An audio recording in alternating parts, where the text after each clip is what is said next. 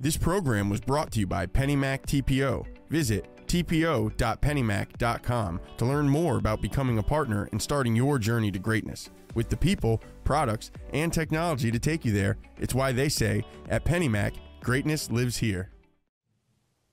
Welcome to The Interest. I'm Mike Savino. JP Morgan Chase CEO Jamie Dimon was one of the first executives in finance to warn about a recession, and today he seemed to double down. Dimon shared his prediction while telling investors that JP Morgan Chase's earnings fell by 28% in the second quarter.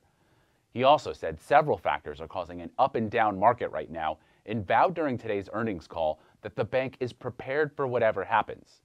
Now, the bank reported $8.6 billion in net income in the second quarter, which is actually up 4% from the first quarter. But as we said at the top, that's down 28% when compared with the second quarter of 2021. Dimon noted the U.S. economy continues to grow, the labor market is strong, and consumer spending remains healthy. But he also voiced concerns about inflation, waning co- consumer confidence, and uncertainty about interest rates.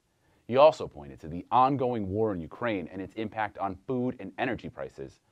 He warned that this combination of problems is very likely to have negative consequences on the global economy sometime down the road. Dimon also criticized new federal regulations that require banks to up their financial reserves. He warned that this will likely drive down the number of loans that banks can originate. It's especially bad for lower income mortgages. Will originate, but the balance on the books will probably come down. Elsewhere, Wells Fargo got a huge legal victory after a judge dismissed a lawsuit aiming to hold the bank accountable for the 2008 economic crash a group of investors were seeking millions of dollars in damages for the plunging value of once safe residential mortgage backed securities. But a judge dismissed the lawsuit and the large part of a second one, saying that those issues were resolved in prior litigation. Wells Fargo previously faced two class action investor suits and a complaint from the National Credit Union Administration over defective mortgages. The bank also agreed in 2018 to pay $2 billion in civil penalties to settle a Justice Department claim that it had knowingly made and sold residential mortgage loans that misstated income information and were lower quality than it had represented. Despite the victory, the judge did allow a German backed investor to sue Wells Fargo over the bank's alleged failure to act upon learning that servicers for 17 trusts had liquidated over 3,000 loans with defective documentation instead of having sellers repurchase them.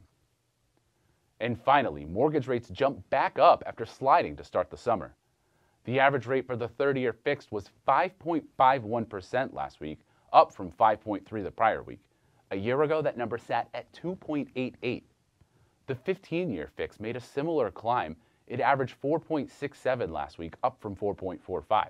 And the 15 year fix was just 2.22% a year ago.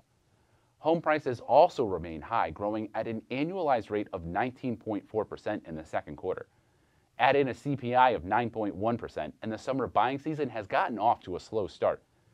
As households pay much more for cars, clothing, food, gasoline, and services, there are fewer dollars left over from each paycheck at a time when housing affordability is a growing challenge.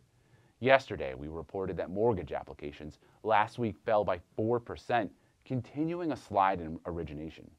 This program was brought to you by PennyMac TPO. Visit tpo.pennymac.com to learn more about becoming a partner and starting your journey to greatness.